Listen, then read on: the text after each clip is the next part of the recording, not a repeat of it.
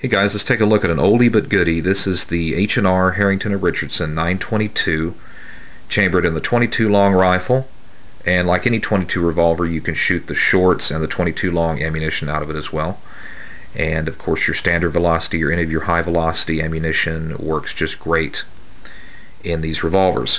This is the five and a half inch barrel. It has the tall ramped front sight and the very small if non-existent groove in the rear, which could be considered a sight.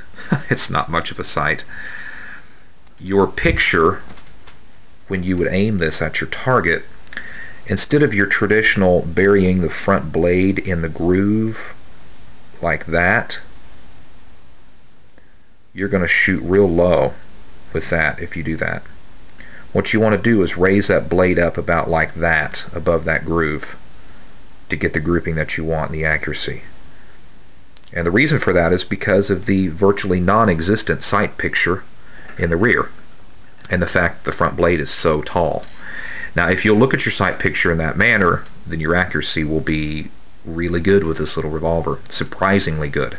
Especially for a revolver that was made previous to 1941. I'd have to track the serial number for sure to make sure you know when it was produced, but it was definitely before 1941 and these were inexpensive when they were new back then and they're still inexpensive if you can find them.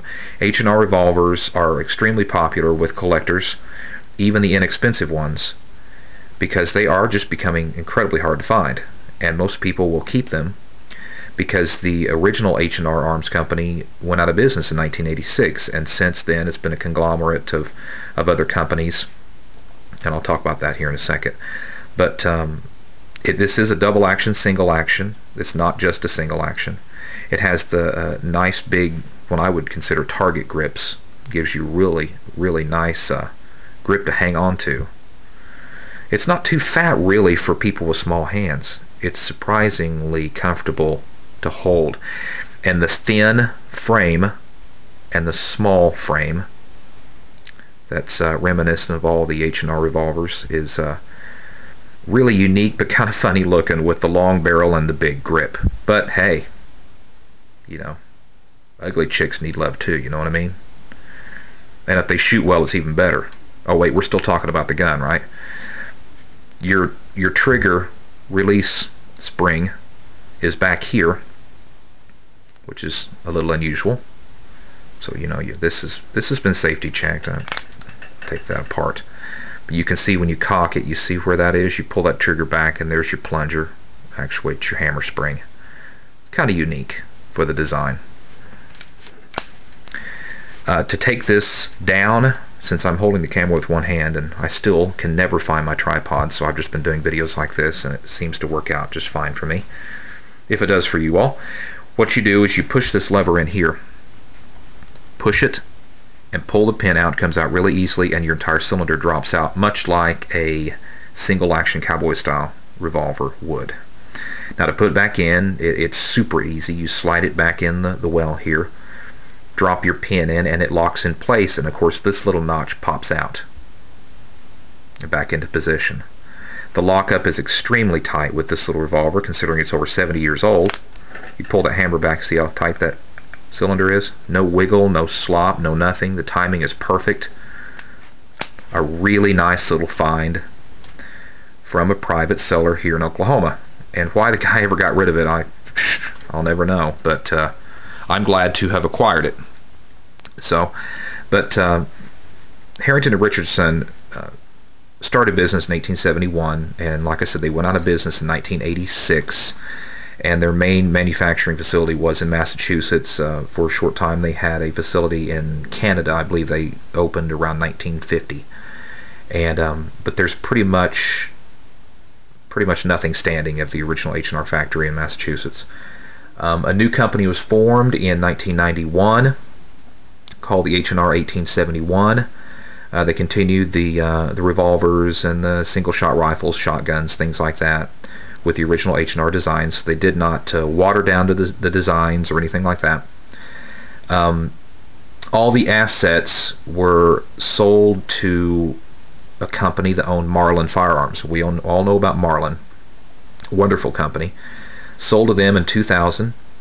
And pretty much after that point, uh, they were looking for another another company to buy them out. It was pretty much just to go in between kind of company purchase.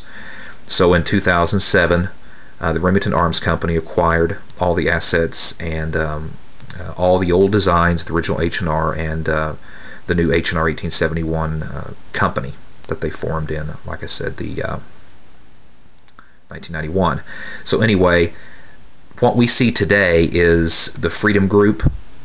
That's the subsidiaries that own H&R and New England Firearms. It's basically it basically owns Marlin and Remington and H&R and New England Firearms. So these revolvers and their history uh, still lives on. And there's companies that have a lot of money that back them. You know, Marlin, Remington, they've been around for a long time. So they're not dead. So I was, you know, I'm real, real glad to see people that, that love the H&R designs. We're, we're glad to have seen that the, that the company didn't die years and years and years ago like a lot of good manufacturers. So that's a little bit of history uh, behind H&R. They made uh, trench shotguns during World War One. Uh, they made a real nice shotgun that doubled as a flare gun in World War One. They made M16s during the Korean War. Uh, they made M14s. H&R uh, was always popular for their uh, vest, small vest style pocket revolvers. The little uh, snub-nosed revolvers with H&R's popular lightweight thin frame always made for a, a, very nice concealable revolver. They've made lots of different variations. I mean there are lots and lots of h&r revolvers out there. And when you see an h&r revolver you know it's an h&r revolver. There is nothing that looks like it. So um, that's really nice. But when i acquired this uh, couple of months ago the guy had this with it, which I thought was real nice because this, of course, does not come with this gun, and was not in the box 70 plus years ago when this was produced. Evidently, he printed this off the internet, and uh, kind of nice. Gives you a schematic of all the parts to this little gun, and which I thought was quite impressive. And then when you look inside here, there's the prices and all the parts. I mean, your hammer spring and everything. Of course, blah, blah, blah tells you how to load it. Anybody that's been around a revolver doesn't need to know how to load it, you know. Cleaning and oiling always important, but uh, most of us don't need a lesson in that if we've owned a firearm at all. But now as far as for beginning shooters, this would make a really nice one. I think I might end up giving this to my brother because uh, the other day he uh, was a rabid possum at his house. I've never seen a rabid possum, but I'm glad I've never seen one. He chased that thing down, stepped on it, held it down, and then took a hammer and beat it in the head about 15 times.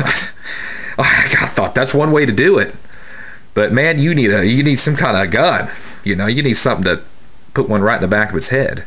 So I think I might give him this 22 so he can keep the hammer in the in the cabinet next time. I mean, I'd, I'd have given five dollars just to see that. That that just sounded funny. He was telling the story. My brother's about six foot five, 270 pounds, so you know, I would hate to have been that possum to have a size 14 foot sit on my neck and then beat with a hammer.